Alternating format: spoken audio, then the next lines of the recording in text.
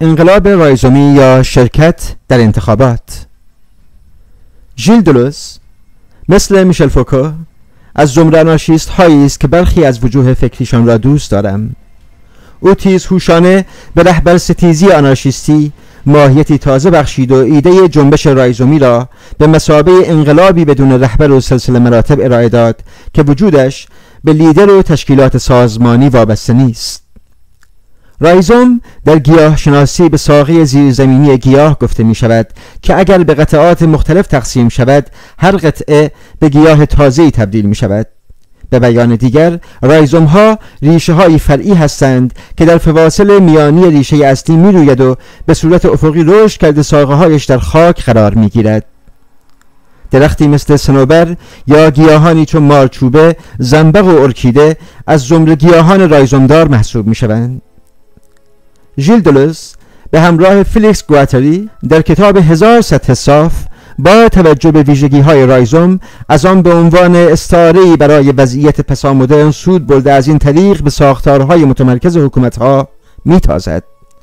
او با توجه به حرکت عمودی درخت و پیشروی افقی و هزار سمتی رایزوم تفکر را به دو گونه درختی و رایزومی تقسیم کرد و معتقد بود که تفکر درختی با ساختار متمرکز و رابطه های خطی و مملو از هیرارشی سر و کار دارد در حالی که تفکر رایزومی را ارتباطات چنگانه تعریف می کند و تأکید داشت درخت از ساختاری انتصابی برخوردار است که اگرچه شاخ و بال دارد اما سیاست هاش که توسط چیزی مثل رهبر رئیس جمهور تعیین می شود تک جهتی است و اغلب در جا می‌زند و فلسفه اش بودن است.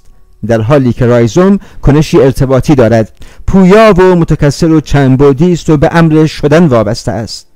پس همانطوری که اگر قطعه ای را از ساقی زیرزمینی گیاهی جدا کنیم گیاه تازه‌ای به عمل می آید تفکر رایزومی نیز پایانش آغاز تفکر بعدی است و فکرها در آن رابطه چندگانه با هم دارند. هدف اصلی دلوز از طرح تفکر رایزومی نمایش ضد هیرارشی فکر جدید بود و اینگونه می‌خواسته عدم وجود مرکز و سلسله مراتب را در هیئت‌های رایزومی نشان دهد. اگر تا دهه آخر قرن بیستم تحقق آرمانهای آنارشیستی بیشتر به یک رویا میمانست حجوم تکنولوژی های جدید و مدیاهای اینترنتی کار را برای کپیتالیسم کمی مشکل کرده. انقلاب رایزومی طوری که در مصر آن را شاهد بودیم دیگر غیر قابل تصور نیست.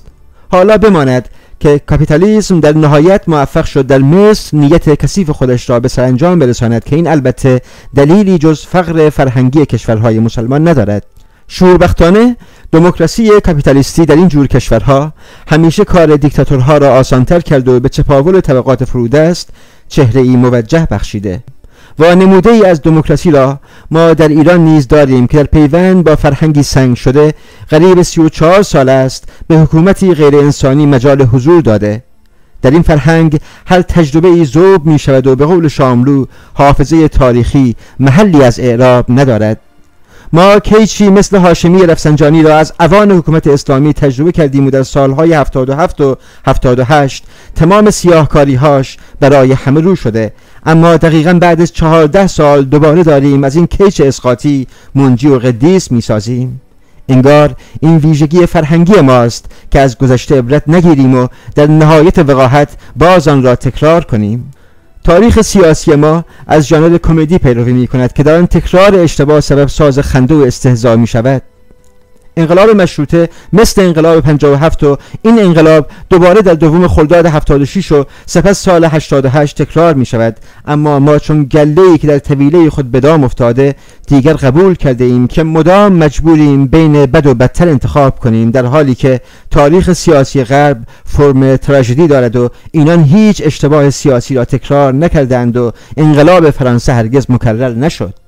وقت است که از زیر زمین زیستی خود به زمین برگردیم و از قرنطینه فرهنگی و سیاسی خارج شویم و بپذیریم که ما نیز بخشی از دهکده جهانی مارشال مکلوهان هستیم. حالا تکنولوژی به جایی رسیده که نیاز نیست برای آزادی بمیریم. کافی است درست زندگی کرده از امکانات در دست درست بهره برداری کنیم. اگر اجازه من نمی‌دهند اعتراض کنیم اگر جایی نداریم که راه پیمایی کنیم می توانیم جا را بدل به بیجایی کرده فریاد برداریم. دوباره بالماسکه تازه به نام انتخابات در راه است. سی و چهار سال است که حکومت از این بالماسکه های انتخاباتی به مسابه سوخت بهره برداری کرده تا هنوز به خود بقا داده. آیا ما نمی توانیم از این فرصت به نفع فردا استفاده کنیم؟ آیا چنان راضی به خودکشی و انتحاری همگانی شده ایم که باید مثل آن دو نویسنده پیشکسوت و ابله همه جا بیانیه بدهیم که بوی نجات از مسترایی چون رفسنجانی می آید؟ اینها همه از یک کیشند و تنها چیزی که هستند این است که ایرانی نیستند و اگر گاهی مثل مشایی سنگ ایران را به سینه می‌زنند به خاطر این است که حیله‌ای بهتر از آن پیدا نمی کنند یکی از خصیصه های جهان مجازی بی زمانی و بی مکانی است و در آن هیچ سمتی یکی نیست و ما در واقع با هزار جهت طرفیم و همین کار را برای سرمایهداری که علاقه وافری به تمرکز قدرت و اطلاعات دارد مشکل کرده در اینترنت شناخت های گروهی و خلد اطلاعات همه جا پخش است و این فضای فاقد هیرارشی جهانی خلاق و رایزمی و در نهایت آنارشیستی ایجاد کرده طوری که حتی فکرهای ناهمخوان به راحتی کنار هم قرار می گیرند. حالا این همانی فرهنگ ها جهان مسطحی پدید آورده که نمایه از برابری مجازی است حقیقت این است که ساختارهای متمرکز یا آن دسته از دستگاه های فکری که از مدل درختی تبعیت می کنند دیگر نمی توانند در فضای مجازی اینترنت از اندامی داشته باشند و همین عمل سانسور را به حداقل رسانده دیگر ژورنالیسم و مدیاهای ماکسیمالیستی تنها سیستم های اطلاع رسانی محسوب نمی شوند. با این همه این فقط آغاز داستان نیست و اگر مدل های روشنگری و روشنفکری ایرانی نخواهد از برج آجش بیاید پایین دوباره یک فرصت بزرگ را از دست خواهد داد. دیگر لزوما آنکه کمتر خوانده می شود یا کمتر دیده می شود متعالی جلوه نخواهد کرد. جهان غمگین امروز دیگر هدایت نمی‌خواهد. حالا افسردگی و نهیلیسم سراسری شده انگار همه آماده خودکشی و تنها راه نجات بخش تولید انرژی شفزا و تزدیق زندگی است. متاسفانه تا کنون تلاش برای معنا بخشی به زندگی چیزی جز رنج آید آدمی نکرده. کامو فیلسوف مهمی نیست اما مهمترین سوال فلسفی را همو ترک کرده به این سوال چیزی جز پرسشی درباره خودکشی نیست. آیا ما باید این رنج این زندگی را تحمل کنیم یا اینکه خود را بکشیم؟ تاریخ می‌گوید که زندگی پوچ است و خودکشی را تنها راه نجات بخش می‌داند. absurdité هم می‌گوید زندگی پوچ است اما تأکید می کند که باید به آن ادامه داد چون در غیر این صورت یک قهرمان پوچی به درد هیچ چیز نمی‌خورد. کامو جماعت نویسنده و آرتیست و در یک کلام عیاش را قهرمان پوچی مینامد اما غافل است که اینها هم به همان جا می‌رسند که سیزیف رسید در واقع قهرمانی در کار نیست. من البته مثل او ناامید نیستم و فکر می کنم که آزادی بخشی از این مشکل را حل خواهد کرد. البته منظورم از آزادی چیزی نیست که در غرب وجود دارد و فقط با پول می شود آن را خرید. آزادی درخواستی من از دید ماکروسکوپیک بسیار کوچک است و با دید میکروسکوپیک بسیار بزرگ و آن چیزی نیست مگر آزادی در طرح بازی دلخواه. یعنی ایجاد جا و فضایی که هر که آزاد باشد در آن بازی دلخواه خودش را به نمایش بگذارد. طوری که تمام آهاد مردم بدل به قهرمان پوچی شوند. ما معاصر بد جهانی هستیم. همه دارند بم می‌سازند که زمین را تخریب کنند. اما کسی از پس این زمان دست ساز بر نمی آید برخلاف آدم ها که مدام نگران سالهای پیری خودشانند این همه سیاره دارد هنوز کار می کند و هرگز فکر نمی کند که دیگر وقت بازنشستگی است. تئوری اولوسیون اگرچه برخلاف دروغ ادیان کمی منطقی است اما چیزی جز ساده کردن اصل مسئله نیست. مسئله این است که اصلا مسئله ای در کار نیست. باید به طرز فجیعی فقط زندگی کرد مثل آدم اول در غار نه آن غاری که افلاتون معکد کرده بود.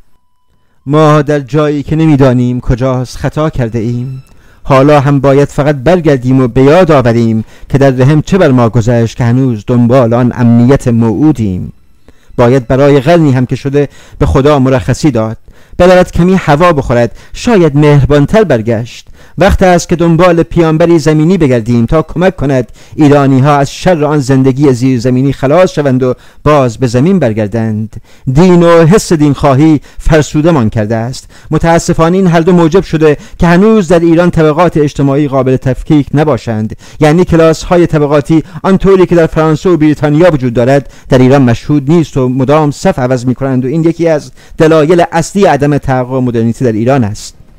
مثلا طبقه متوسط که نمایه شهری مدرن است هرگز در ایران شکل نگرفته و هر وقت آمد هیئتی به خودش بدهد تکانه های سیاسی و اقتصادی دفرمش کرده. به همین نسبت ما تعریف درستی از طبقات فرادست و فرودست نیز نداریم. پس دیدمانی از طبقه کارگر نیز در دست نیست. چون هنوز مرزهای بین فودال و بورژوا از بین نرفته اغلب در هم ادغام شدهاند. خود نیست که ساختارهای سنتی همچنان در جامعه شهری ما دارای کار کردند و طبقات شفافیت خاص خود را هم به لحاظ سیاسی و هم به لحاظ مدنی و فرهنگی نیافتند. بنابراین شرایط اجتماعی جامعه ایران طوری نیست که از پایان مدرنیته حرف بزند و بورژوازی برآمده از سرمایهداری را نقد کند. اینها را ننوشتم که مثل برخی بگویم ما به دلیل عدم تجربه مدرنیته نمی‌توانیم اطفالی پست مدرنیستی داشته باشیم بلکه برعکس می‌خواهم بگویم که اتفاقا به دلیل وضعیت و تجربه خودویژه‌ای که داریم می‌توانیم سنگ نومدرنیسم یا پست پست مدرنیسمی را که واژه جهان رایزونی خودمان باشد به سینه بزنیم. خلاصه وقت است روشنفکری ایرانی کمی بجنبد و عینک مکش مرگ مایش را بردارد که اگر چنین نکند رفته رفته خانهاش اوین خواهد شد و برای همیشه شکست می‌خورد. روشنفکر اسمی ما باید بداند که در جدال بین مینیمالیزم اینترنتی و ماکسیمالیست کاپیتالیستی پیروزی وقتی حاصل می شود که اتحاد گروه های مینیمالیستی میسر شود. بیشک فلسفه که تا امروز تولید شده همین زمان خطی که تا حالا کش آمده و حتی اقلانیت از پا افتاده امروزین همه و همه به دلیل برخورداری از ساختار درختی از خلاقیت باز مانده و عقیم شده. پس راهی نمانده مگر تولید زندگی در لایه های دیگری از هستی که فضای اینترنتی یکی از آنها را محقق کرده؟ تجمع خورد فرهنگ ها و همبستگی شورهای فردی می تواند اینها همه را از گوشه های کور هستی به صحنه پرتاب کند. اتفاقاتی که طی سالهای اخیر در چند کشور اسلامی روی داده نشان می‌دهد که کنترل اطلاعات و اعمال سانسور گسترده دیگر از هیچ دیکتاتوری ساخته نیست. در اتفاقات بعد از انتخابات سال 88 دیدیم که وقتی مکان و فضای تظاهرات احترازی از مردم گرفته شد آنها به بیمکانی پناه آوردند و در فضای مجازی یوتیوب و توییتر و فیسبوک اعتراضشان را جهانی کردند. از آنجایی که دستگاه های اطلاعاتی ایران بر اساس مدل های درختی طراحی شده حکومت ایران قادر نبود جلوی خروج اطلاعات را از مرزهای ایران بگیرد و در مقابله با فضای رایزومی مجازی در نهایت شکست خورد.